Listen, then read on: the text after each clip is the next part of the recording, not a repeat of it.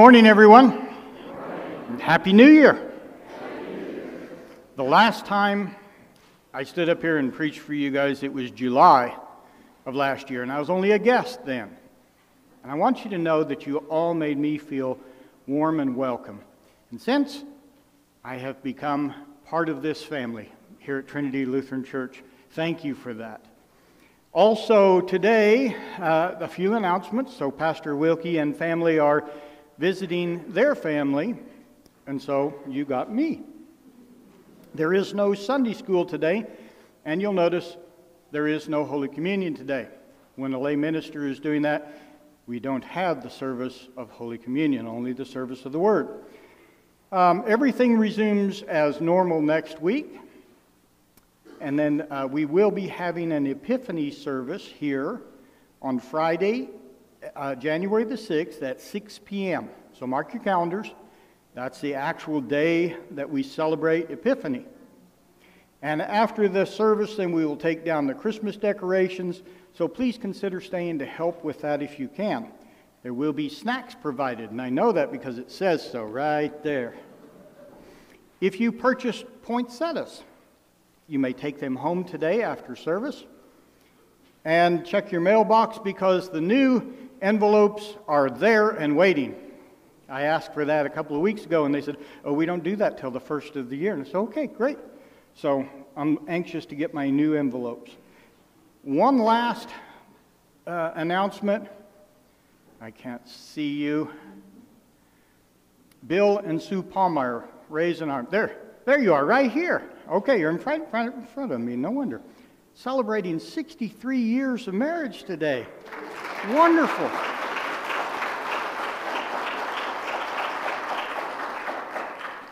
And so, for all of you who are visitors today, I hope that you also find that same warm welcome that I did.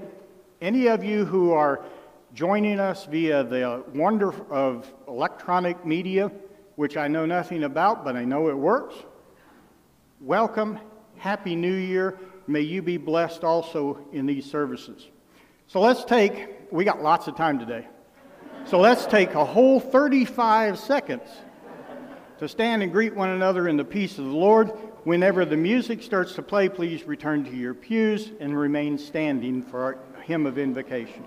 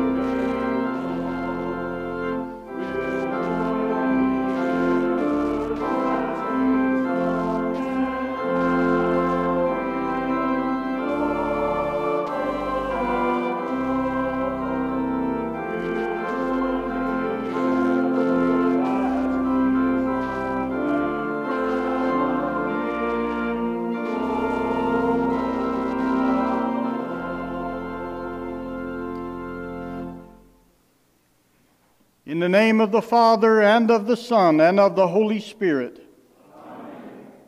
Beloved in the Lord, let us draw near with a true heart and confess our sins unto God our Father, beseeching Him in the name of our Lord Jesus Christ to grant us forgiveness.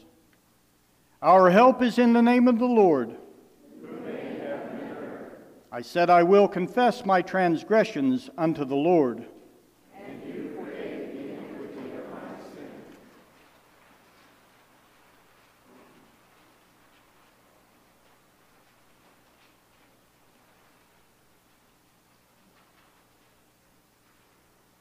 Almighty God, our Maker and Redeemer, we poor sinners confess unto you that we are by nature sinful and unclean, and that we have sinned against you by thought, word, and deed. Wherefore we flee for refuge to your infinite mercy, seeking and imploring your grace for the sake of our Lord Jesus Christ. O most merciful God, who has given your only begotten Son to die for us, have mercy upon us and for his sake grant us remission of all our sins. And by your Holy Spirit, increase in us true knowledge of you and of your will and of true obedience to your word, to the end that by your grace we may come to everlasting life through Jesus Christ our Lord. Amen. Almighty God, our Heavenly Father, has had mercy on us and has given us His only Son to die for us, and for His sake forgives us all our sins. To those who believe on His name, He gives the power to become the children of God and has promised them His Holy Spirit. He that believes and is baptized shall be saved. Grant this, Lord, unto us all.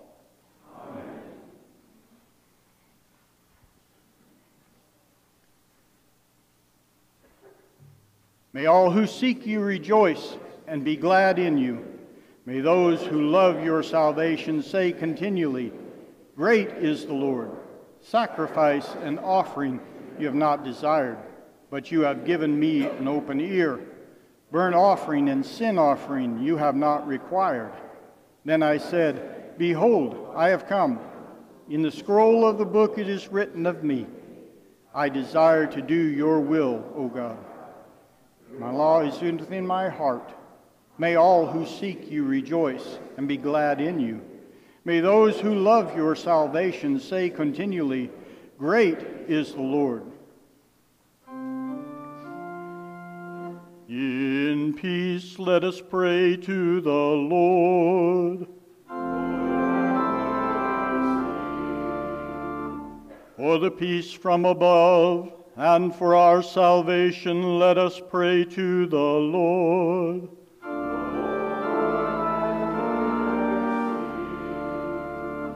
For the whole peace of the, for the peace of the whole world, for the well-being of the church of God, and for the unity of all, let us pray to the Lord.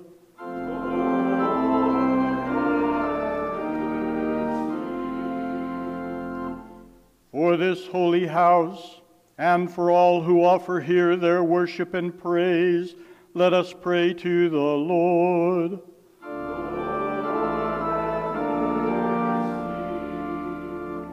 Help, save, comfort, and defend us, gracious Lord.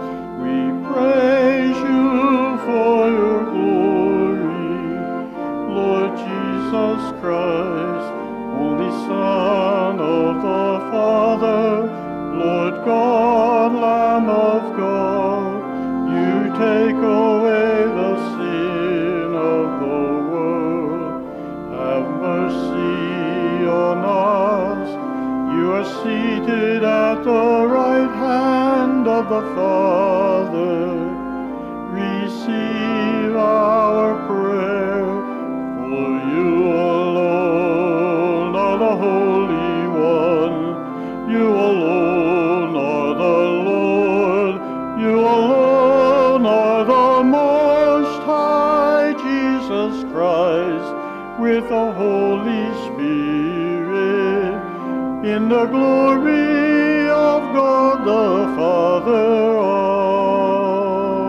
Amen. The Lord be with you.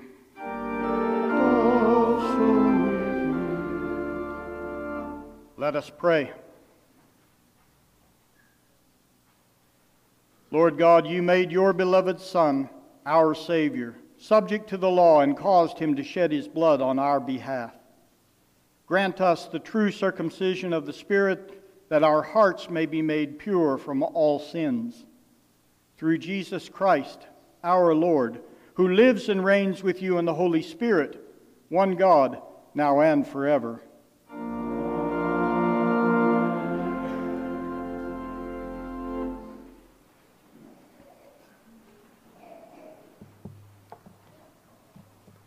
The Old Testament reading this morning is from Numbers chapter 6, verses 22 through 27. The Lord spoke to Moses, saying, Speak to Aaron and his sons, saying, Thus you shall bless the people of Israel. You shall say to them, The Lord bless you and keep you. The Lord make his face to shine upon you and be gracious to you. The Lord lift up his countenance upon you and give you peace. So shall they put my name upon the people of Israel, and I will bless them. This is the word of the Lord. Thanks be to God.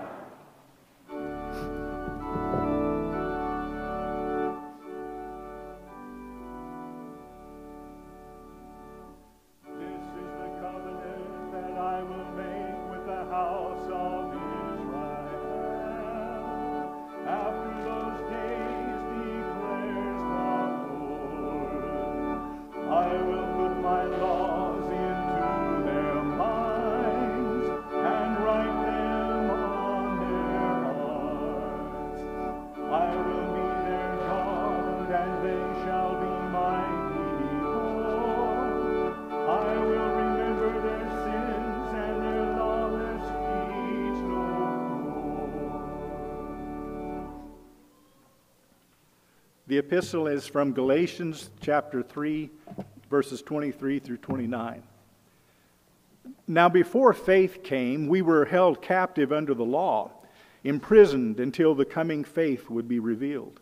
So then, the law was our guardian until Christ came, in order that we might be justified by faith. But now that faith has come, we are no longer under a guardian. For in Christ Jesus you are all sons of God through faith. For as many of you as were baptized into Christ have put on Christ. There is neither Jew nor Greek, there is neither slave nor free, there is neither male nor female, for you are all one in Christ Jesus. And if you are Christ's, then you are Abraham's offspring, heirs according to the promise. This is the word of the Lord. Thanks be to God.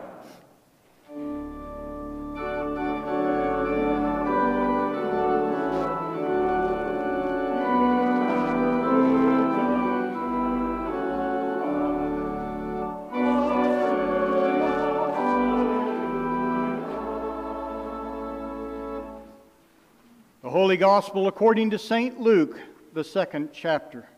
Glory to you, Lord. At the end of eight days, when he was circumcised, he was called Jesus, the name given by the angel before he was conceived in the womb. This is the gospel of the Lord.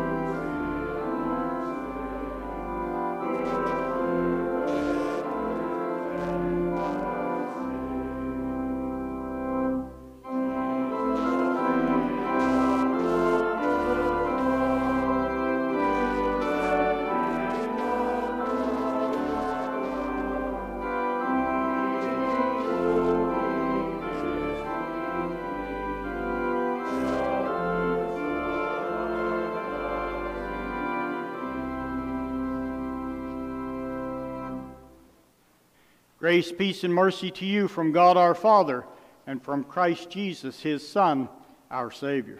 Amen.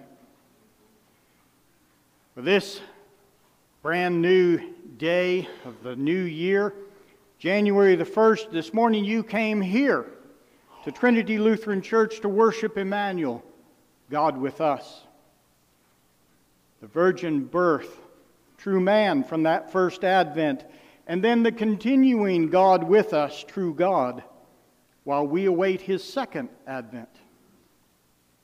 As you looked at the service this morning, undoubtedly you noticed how short the service is. With the lay minister here, there is no Holy Communion service, only the service of the Word. And the verses from the, today's pericopes, preset, they're all short.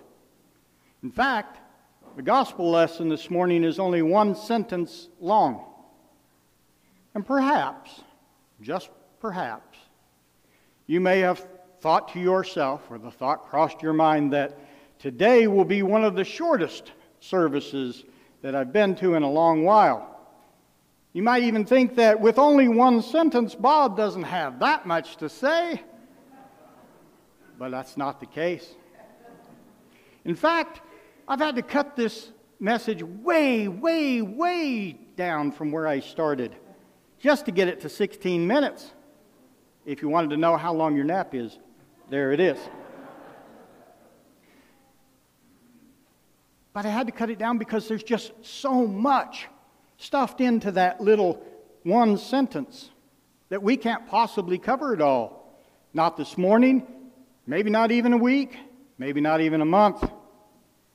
I had to contain my thought process that, so that we might explore the economy of God's Word and unpack what appears to be just this simple, small verse. I'll repeat it. And at the end of eight days, when he was circumcised, he was called Jesus, the name given by the angel before he was conceived in the womb. Now, last Sunday was Christmas Day and families all over the world gathered together in joyous celebration of Christ, the newborn King. And wonder and amazement filled the little children's eyes as they got their first glimpse of all those colorfully wrapped gifts with the bright bows and ribbons under the tree. And each one of them searching to find their name written upon one of those packages. What's in a name? That which we call a rose by any other name would smell as sweet.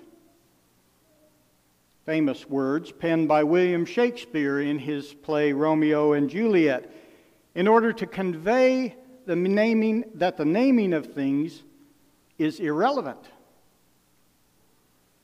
Well, that may be true of some things. My name is Bob. It's a very common name. It's only relevant to me and important to me because I was named after my father. And over the years, family pets, their names may not mean that much either. My dad once named the stray cat that showed up on our doorstep Clyde. And Clyde won the hearts of all. He became the family cat, but it just so happens that Clyde was a female. When we took her to the veterinary office to have her spayed, um, you should have seen the looks on their face. My dad never changed that cat's name. But how many of you parents out there spent months, maybe even years, thinking, looking through all the baby book or baby name books to try and find just that perfect name for your child? In the Old Testament times, names were given that would even give us a glimpse into who this child was to be and what they might become. But for Mary and Joseph, there's no need to agonize or spend any time on that matter because the baby's name was given to them by the angel. Gabriel, sent from God to the Virgin Mary, and she was told to name the child that she would conceive in her womb Jesus. That very name, Jesus, Yeshua in Hebrew, means God saves. In those days, the father would name the child, and so it is here as well in this case. Not Joseph.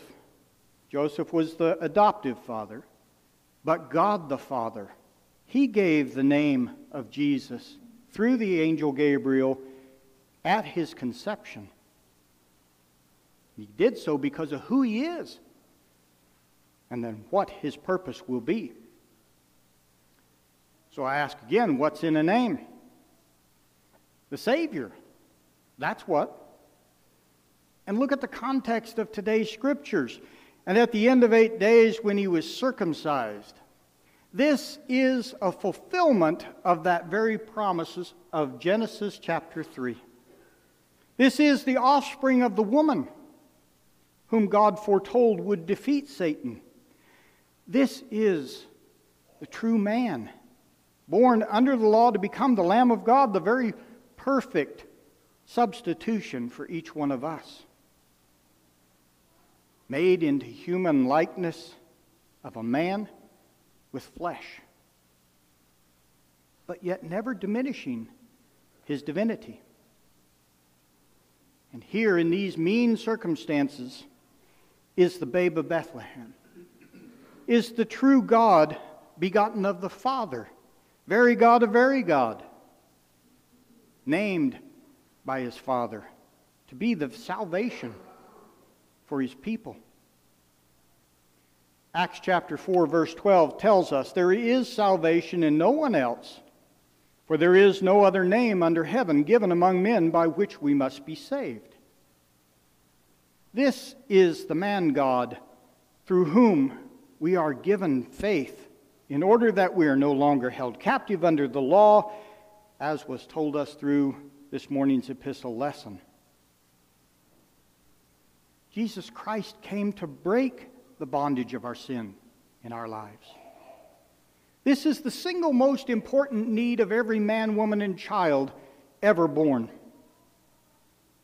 to break the bondage of sin in our lives, to set us free, to set us free to be people of God, that we might be justified by faith. Salvation cannot be found in our own good works. There are not many paths unto heaven, as the world would have you to believe. There is only one way, and that is by and through and in Christ Jesus, whom each of us were baptized into. He, and He alone, is the Savior of the world.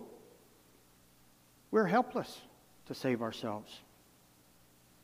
We're all held captive under the law, imprisoned until that coming faith that is, our Savior, would be revealed. And this gospel lesson today echoes the Old Testament prophet of Isaiah in chapter 9, verse 6. He says, For to us a child is born, to us a son is given. The child is born, the son is given. True man, true God. Salvation, just as was promised in the Garden of Eden. The Christmas season lasts eternally for all who are being saved.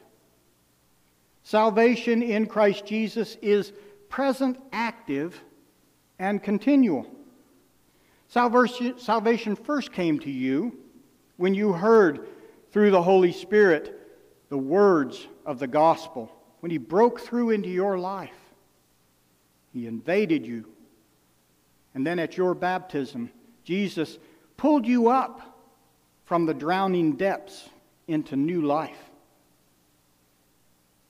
Scriptures say that you were dead in your trespasses, and God Himself made you a new creation, alive in Christ Jesus and adopted into His family.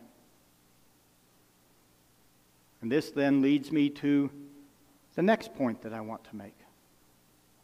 Because Jesus saves, you and I have hope for today and for tomorrow and for always. I noticed this last Monday, the day after Christmas, that the stores already have Valentine's Day things that are being put onto the shelves.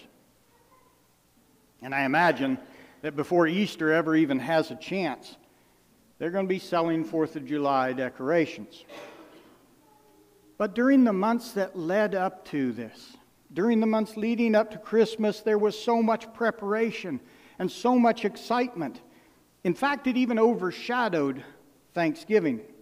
Couldn't even hardly tell it was in there. But as soon as December the 26th gets here, people are ready to just put away all the festivities of Christmas. But not in the hearts of those who have been given the name of Christ. We Christians bear his name throughout the year, and year after year, even as we await his final advent. So, what's in a name? Hope. What's in a name? You are. In the name of Jesus is hope. Hope for that great eternal day, but also hope for today. Christians at Christmas can even have a very difficult time. They struggle with things like loneliness. Some people have lost loved ones during this time of year, and each year are reminded of that day. Some look around and they see large gatherings of close and loving families that enjoy so much their, each other's company during this time of year but they have no one to share it with. Some are fighting cancer or anxiety, and it prohibits them from even gathering with others. I want to tell you that no matter what your trial is, no matter how difficult that trial may seem to us, because of Jesus, we can and will make it through these times.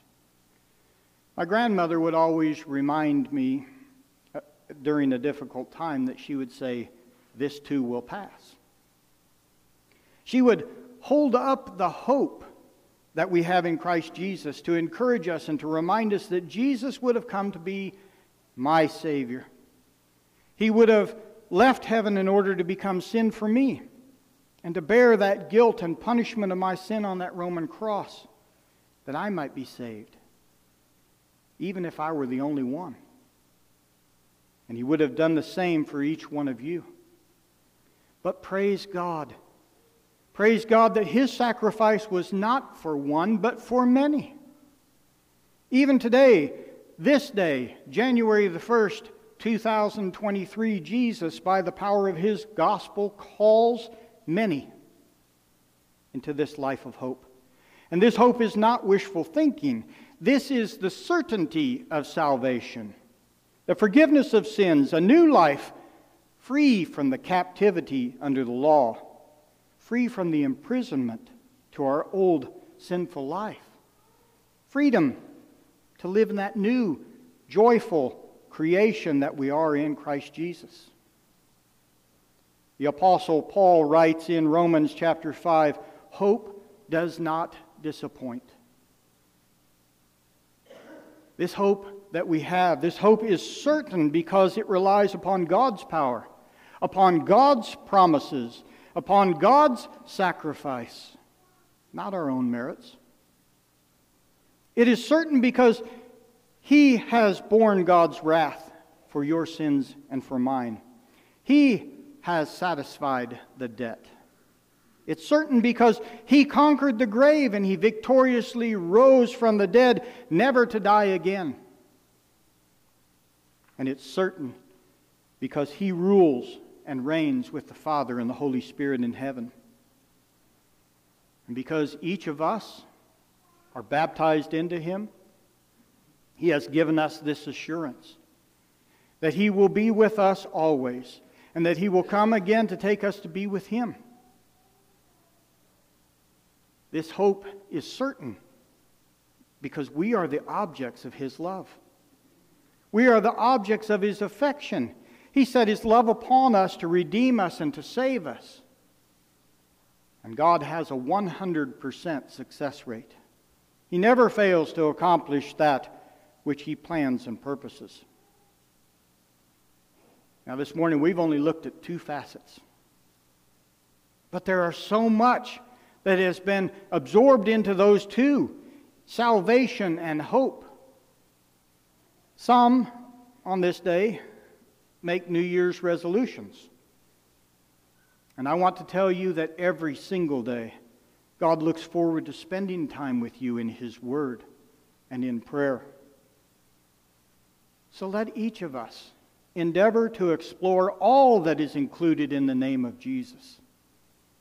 Let His Word transform us into that very creation that He's already made us to be. Knowing that God saves each one of us because He loves us. He saves us that we might encourage and to strengthen one another, spurring each other on to good works as He prepared beforehand that we should walk in them. And together, we will walk hand in hand as the family of God. And when that last day comes here on earth, at the name of Jesus, every knee will bow and every tongue confess that Jesus Christ is Lord. What's in a name? Everything. Now may the peace of God that passes all understanding keep your heart and mind in Christ Jesus. Amen.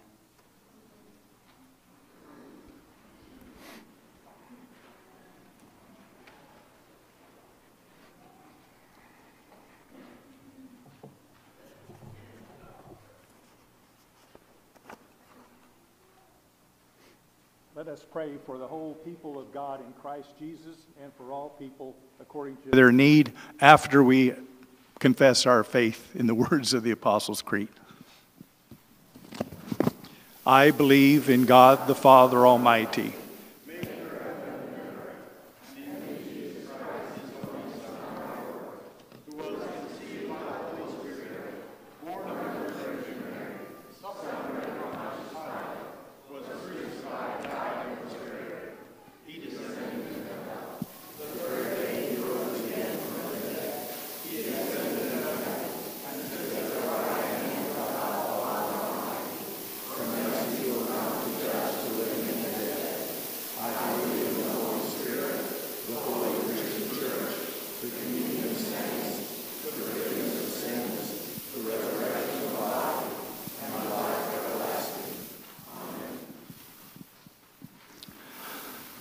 Lord, our Lord, how majestic is your name in all the earth. The heavens are the work of your fingers, yet you willed to save us in the most humble and sacrificial of ways. Already eight days after being born of the Virgin Mary, your Son was at work for our salvation by fulfilling your law and shedding his blood. Receive our heartfelt thanks for the righteousness and forgiveness of sins we have obtained through Jesus' life, death, and resurrection. Lord, in your mercy, blessed God, you sent your Son into our flesh, and as an infant, he first shed the blood that would cleanse us from our sin. Accept our thanks for the loving kindness shown to us sinners. Grant us a steadfast faith that we would not forget all of your benefits or lose sight of your promises. Lord, in your mercy. O oh God, you declare that in Christ Jesus there is neither Jew nor Greek, slave nor free, male nor female, for we are all one in him. Preserve us from all ungodly prejudice, yet instill in us a deep appreciation of our distinctive callings. Grant that we would not resent what you have called us to be and to do, but rejoice to serve as you have ordained. Lord, in your mercy. Blessed Lord, you have shown your power by establishing governments and leaders to serve your people in your name. Grant to our president, governor, Congress, legislators, judges, and magistrates the wisdom and courage to act with integrity on behalf of all people, especially those least able to defend themselves. Lord, in your mercy. Father in heaven, bless and keep us by your grace. Be with the sick and ailing, their comforter unfailing. Dispelling grief and sadness, give them joy and gladness. Lord, in your mercy, hear our prayer. Gracious Father, in your steadfast love, you have put off the day of Jesus' return until the perfect time when the number of your elect is complete. Keep your people watchful, vigilant, and awake with your gift of faith until that day. Through the same Jesus Christ, your Son, our Lord, who lives and reigns with you and the Holy Spirit, one God, now and forever.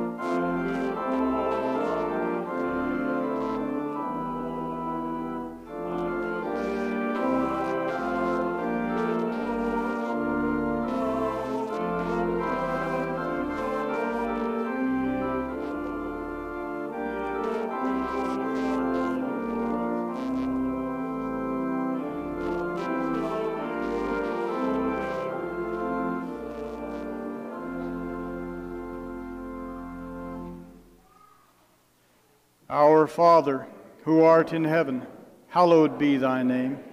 Thy kingdom come, thy will be done, on earth as it is in heaven. Give us this day our daily bread, and forgive us our trespasses, as we forgive those who trespass against us. And lead us not into temptation, but deliver us from evil. For thine is the kingdom, and the power, and the glory, forever and ever. Amen. And now may the Lord bless you and keep you. May the Lord make his face shine upon you and be gracious to you. May the Lord look upon you with his favor and give you his peace.